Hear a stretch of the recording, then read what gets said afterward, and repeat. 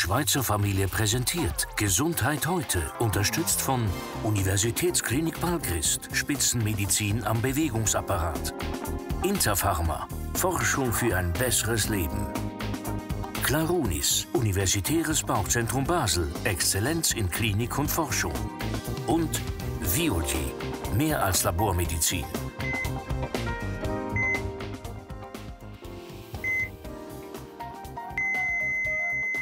Jedes Jahr sterben in der Schweiz etwa 30.000 Menschen an Herzproblemen. Das heißt, alle Stunden haben wir etwa fünf Herznotfälle.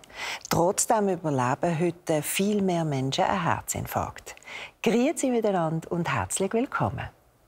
Wenn man den Herzinfarkt überlebt hat, kommt es oft zu Narben im Herz. Und die machen, dass das Herz nicht mehr so leistungsfähig ist.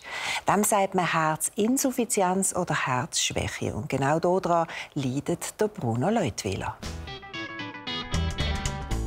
Mit Motoren kennt er sich aus. Seit er vor sechs Monaten einen Herzinfarkt erlitt und einen Stent erhielt, beschäftigt sich Bruno Leutwähler auch mit dem eigenen Antrieb, seinem Herz. Dieses hatte er als langjähriger Raucher während Jahren völlig vernachlässigt. Die Frau hat gerufen zum Morgenessen. Und, äh, ja, und ich habe gesagt, ich rauche noch eine Zigarette. Beim zweiten Zug war dann äh, ein schlagartiger Druck da. Und, äh, ja, und dann habe ich gemerkt, dass es irgendwie etwas nicht gut ist. Dank rechtzeitiger Behandlung hat er überlebt und sich gut erholt. Doch sein Herz erbringt nur noch eine Leistung von 30 Prozent. Deshalb empfehlen ihm seine Ärzte, sich einen Defibrillator implantieren zu lassen. Dieser löst bei einer lebensbedrohenden Herzrhythmusstörung einen Stromstoß aus, damit das Herz danach wieder normal schlagen kann. Doch die Informationsbroschüre verunsichert ihn.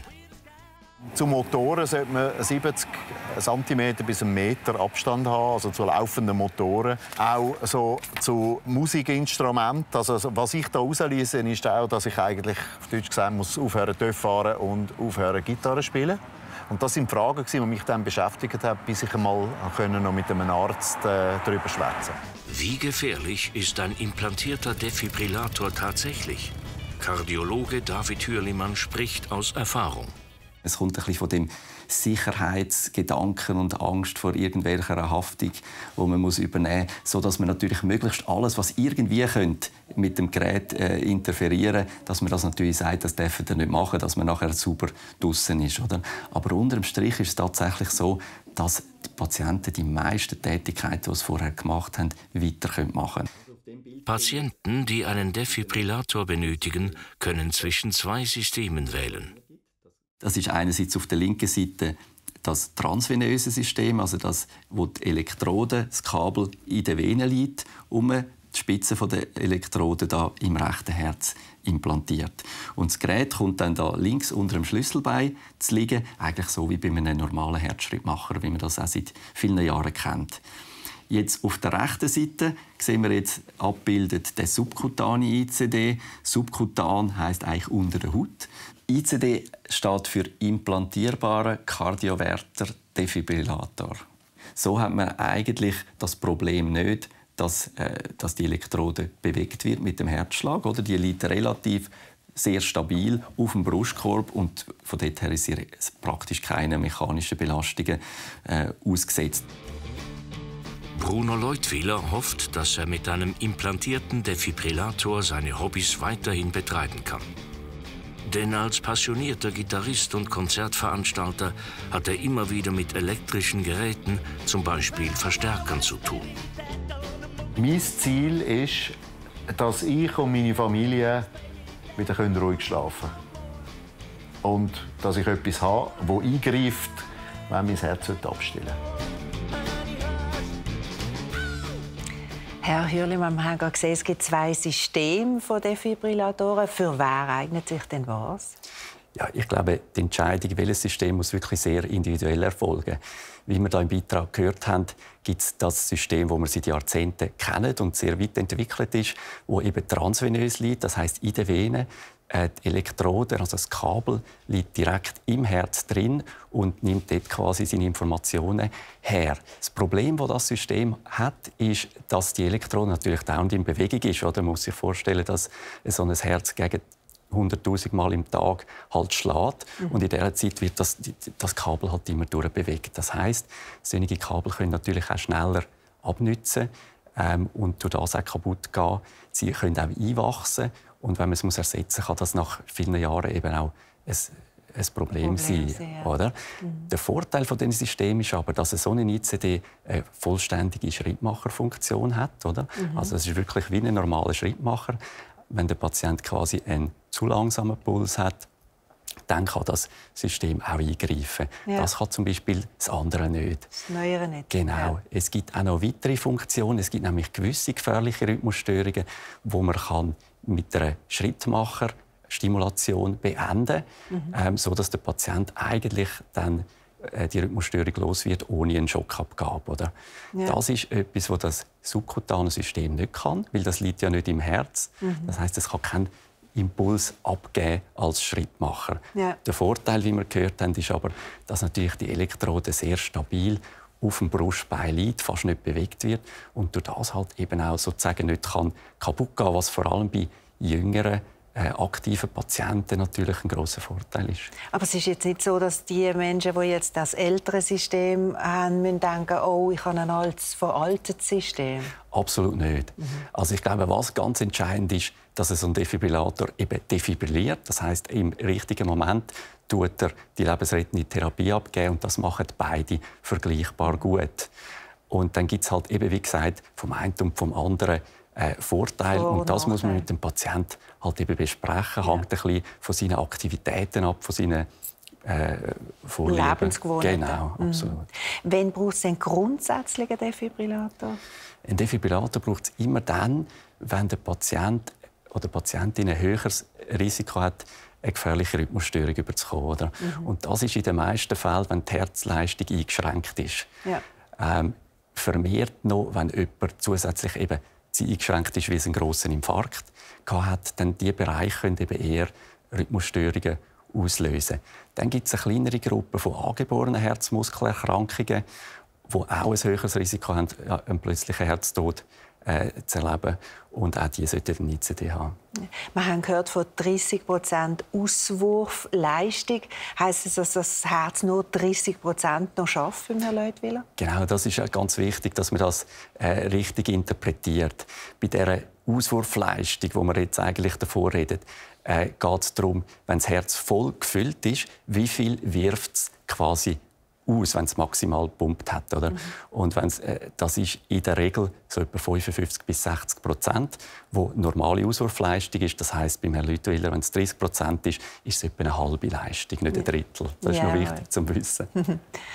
Der Bruno Leutwiller hat sich für einen neuen Defibrillator entschieden und wir sind bei diesem Eingriff dabei. Gewesen. Bruno Leutwiller ist bereit für den Eingriff und zuversichtlich. Ja, ja, tipptopp. Und auch gut geschlafen. Das Anästhesieteam versetzt den Patienten in Vollnarkose. Die Operation ist Routine. Trotzdem, eine exakte Vorbereitung ist für den Erfolg entscheidend. Bruno Leutwähler schläft bereits tief, während die Chirurgen mit einem Röntgenbild die Lage für den Defibrillator nochmals überprüfen und markieren. So machen, sodass wir das wirklich das, ein bisschen oberhalb... Genau, es wieder ein bisschen auf, ja. oder? Ja. Wir zeichnen da quasi das Gerät eins zu eins ein, wo man nachher erwähnt, dass es hinkommt, oder? Dass es dann auch die Lage hat, die wir im Röntgen festgelegt haben. Es braucht eine gewisse Größe, oder, damit es die Energie kann abgeben kann. So sieht das aus. Und das ist quasi die Elektrode, die dann reinkommt. Der erste Schritt ist, dass man jetzt die Tasche, also der Ort, wo das Gerät hinkommt, unter der Haut, dass man das würde präparieren es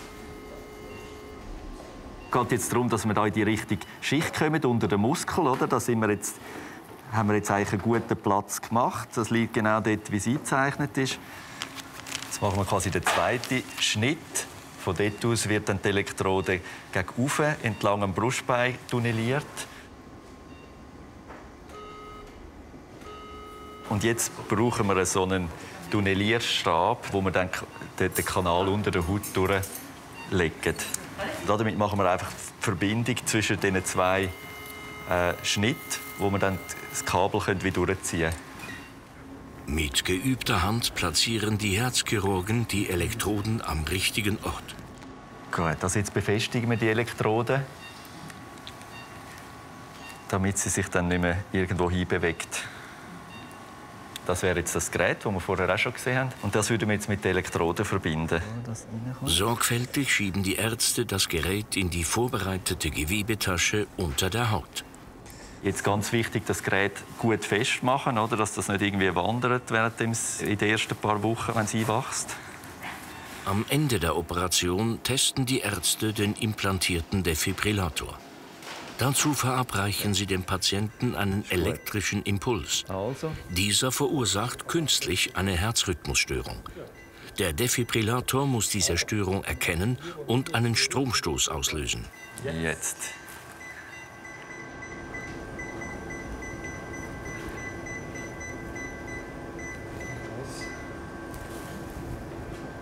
Es flimmert. Erkennung läuft. Erkannt. Ladeprozess läuft. Schock kommt.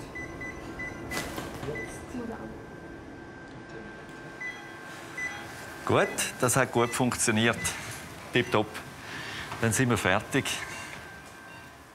Herr Leutwiler, acht Monate ist es her, seit Sie das äh, gekriegt haben, den Defibrillator. Ist der schon mal abgegangen? Also nur beim Test, sonst nicht. Nein. Und spüren Sie von diesem Gerät etwas unter der Haut? Eigentlich im Normalfall überhaupt nicht. Nein. Nein. Und ähm, wie schnell haben Sie sich denn erholt nach dem Eingriff?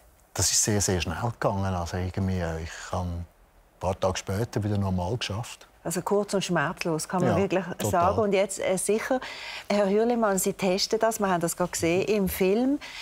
Was ist jetzt, wenn es nicht auslöst? Was machen Sie denn? Das kommt zum Glück sehr selten vor. Äh, wir testen es eigentlich darum, weil eigentlich der Stromimpuls ja von dieser Elektrode auf dem Brustbein zum Gerät erfolgt, oder? Und wenn quasi das Gerät zu weit vorne ist, dann geht der Strom wie am Herz vorbei. Das heißt, wir testen, ob die Lage gut ist. Wenn es jetzt wirklich nicht gehen, dann müssen wir das Gerät versetzen, um nach weiter hindern, mhm. dass es quasi einen besseren Stromvektor hat. Jetzt sind alle elektronischen Geräte irgendwie fallen ja auch einmal aus. Wie ist es bei diesen Defibrillatoren? Sind die anfällig für Störungen? Ich meine, nichts ist natürlich 100 Prozent, aber die Zuverlässigkeit ist extrem hoch. Also das ist wirklich sehr selten, dass da irgendein technisches Problem im Gerät oder der Elektronik passiert. Ja. Und wenn man so eine Defi hat und es quasi immer so ein bisschen mit der Unsicherheit ist, geht jetzt der ab oder nicht? Wie fühlt sich das an? Wie geht man mit dem um? Ist man da verunsichert? Vielleicht am Anfang sogar? Ich glaube, am Anfang. Am Anfang sind so die ersten Sachen, wo man eben, äh, äh, zum Beispiel, wo man denkt, ja, eben ins Einkaufszentrum gibt es vielleicht ein mulmiges Gefühl, bis man das erste Mal drin war. Und nachher ist es irgendwie wie vergessen. Mhm. Oder wenn jemand darauf anspricht, dann, dann, dann kommt es wieder in den Sinn und sonst nicht. Ja, also Sie meinen jetzt wegen diesen Schranken, das ist ein guter Punkt. Genau. Das hat die, die Schranken bei den Einkaufszentren, die Sicherheitsschranken. Wie ist das? Auch am Airport haben wir äh, Sachen, wo wir durchlaufen oder so Durchgänge. Wie ist das problematisch? Das ist eigentlich praktisch alles ist also sehr äh, unproblematisch. Oder? Also gerade am Flughafen zum Beispiel, da kann höchstens passieren, dass es pfeift, weil es halt aus Metall ist, aber sonst kann nichts passieren. Oder? Ja. Wichtig ist auch, dass der Patient weiß, all die die verschiedenen Sachen, die es könnte beeinflussen, schließt das Gerät definitiv nicht, sondern es stört vielleicht seine Funktion für den kleinen Moment, wo es quasi dieser Störquelle ausgesetzt ist, oder? Mhm. Und sobald man wieder draußen ist, ist es wieder normal. Also das ist wirklich meistens ungefährlich. Also auch im Magnetfelder, Induktionsherd zum Beispiel oder Handy? Ja, das ist sicher eine wichtige Frage und das mit Induktionsherd, das wissen fast alle, das fragen mich fast jede, jede Patientin und jeder Patient das kann man eigentlich wirklich vergessen. Oder? Mhm. Weil dort müssen wir wirklich mit dem Gerät selber fast in der Pfanne liegen, dass es ein Problem gibt. Also wenn man ganz normal kocht, oder, äh, ist das absolut äh, gefahrlos. Mit dem Handy ist es auch so, die die Strahlung macht überhaupt nichts. Also sämtliche quasi Haushaltelektronik, ob das irgendwie äh, ein Computer, ob das ein WLAN-Router, ob das irgendwie äh, ein Staubsauger ist, das macht alles, alles nichts. Mhm. Elektroautos? Auch das macht nichts. Das ist natürlich ganz wichtig. Das wäre natürlich gar nicht gut in der jetzigen Zeit, mhm. wenn man müsste sagen, dass man das nicht mehr könnte benutzen könnte. Die sind sehr gut abgeschirmt. Also da passiert nichts. Die kann man bedenkenlos äh, mhm. benutzen. Wie ist Ihr Leben jetzt im Vergleich zur Form, Defi? Ich schlafe ruhiger. Ja. Weil ich weiß, ich, ich habe etwas, wo, wo eingreift, äh, ja, wenn es nötig ist. Genau. Ja. Und wenn er jetzt losgehen was passiert denn mit dem Patienten? Fällt er denn um, weil er so einen Schlag kriegt? Oder wie erleben das die Patienten? Das ist ganz unterschiedlich. Oder das hängt sehr davon ab, was passiert während der Zeit, wo er die Rhythmusstörung hat. Oder? Mhm. Ähm, es, es, ist so, es kann sein, wenn er eine ganz schlechte Herzfunktion hat, und es geht, ja, wir haben gesehen im Film, das ist nicht die zwei Sekunden, die der auslöst, sondern er braucht ein paar Sekunden, um die Rhythmusstörung festzustellen. Nachher lädt er und gibt Therapie ab. Oder? Das sind gerne mal zehn Sekunden. Und in dieser Zeit, wenn das Herz ganz schlecht ist, dann wird es ihm schwindlig und er geht vielleicht um. Oder? Mhm dann kann es sein, dass es einfach eine Rhythmusstörung ist, die recht schnell ist, aber das Herz vertreibt die 10, 20 Sekunden. Dann wird es vielleicht leicht schummerig und dann spürt er den Schock. Und ja. darum ist es auch ganz schwierig, zum voraussagen, wie man es wird spüren. Oder ich habe Patienten, die nicht mal gemerkt haben, dass er abgegangen ist. Und es gibt andere, die, die das wirklich relativ stark gemerkt haben. Weil das wird alles registriert. Sie können das nachvollziehen, auch nachverfolgen. Wie oft braucht es Kontrolle? Wie oft sind Sie schon gesehen? Also, äh, ich glaube, alle halb Jahr. Ist mir alle halb Jahr. Das heisst, Sie sind jetzt einmal in der Kontrolle schon gewesen? Ja, und jetzt ja. dann in Kürze ist die nächste. Ja, zweimal pro Jahr ist die Kontrolle ja. Also es ist am Anfang macht man es ein bisschen häufiger. Geht vor allem darum, zu schauen, ob es gut abgeheilt ist, dass es keine Infektion gibt. Und wenn das einmal gut ist, dann ist es eigentlich zweimal im Jahr. Wie ist es, wenn Batterien unten sind? Das kommt natürlich äh, vor. Und der Patienten gehen immer davon aus, dass man einen Batteriewechsel macht, aber man kann die Batterie nicht auswechseln, sondern man muss das ganze Gerät auswechseln. Oder? Mhm. Dann geht man einfach am gleichen Ort, die gleichen Narben quasi, schneidet man vorsichtig auf, nimmt das Gerät raus, steckt es um und macht wieder zu. Das ist meistens eine kleine Sache. Ähm, das Kabel hebt meistens deutlich länger als ein Gerät und darum kann man das dann lassen und dann ist es eine, eine kleine Sache. Die Lebensdauer hat sich auch äh, ein bisschen verbessert in der letzten Zeit. Also so ein Gerät hebt je nach Typ so zwischen sieben und zehn Jahren. Ja. Und wenn man sich stark bewegt oder auch Sexualität und das Herz muss mehr äh, pumpen, tut sie das verunsichern? Nie irgendwo daran denkt. Nein, Nein, gar nicht daran denkt. Nein. Aber ist das eine Unsicherheit? Ich glaube, es ist vielleicht eine Unsicherheit, die die Leute zum Teil haben, oder? Mhm. Aber eben, man, man gewöhnt sich verschieden schnell daran. Ich sage den Patienten immer, es, es kann Wochen gehen, bei gewissen geht es ein paar Monate. Aber das Ziel ist, dass das einfach Teil von einem wird, wie ein Airbag im Auto, wo man eigentlich nicht daran denkt, dass man ihn hat. Und wenn es ihn braucht, dann kommt er in Aktion. Oder? Mhm. Man hat gesehen, dass zum Teil eher eben vielleicht Partnerinnen oder Partner eher Sorge haben, was ist denn, wenn der abgeht oder äh, kann es mir auch etwas machen? Und da muss man klar sagen, da kann nichts passieren. Oder? Ja. Also so ein Stromstoß, auch wenn man, äh, äh, auch wenn man einander hebt, kann nichts passieren. Kann nichts passieren. Danke vielmals, Herr Hürlemann, für die guten Informationen und herzlichen Dank, Herr Leutwiller, dass wir haben dürfen Sie begleiten und dass Sie bei uns sind.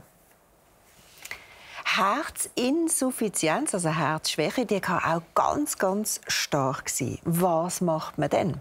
Wir haben ein paar Antworten für Sie im Interview, wo wir geschrieben haben in der Schweizer Familie. Ein Blick drin lohnt sich.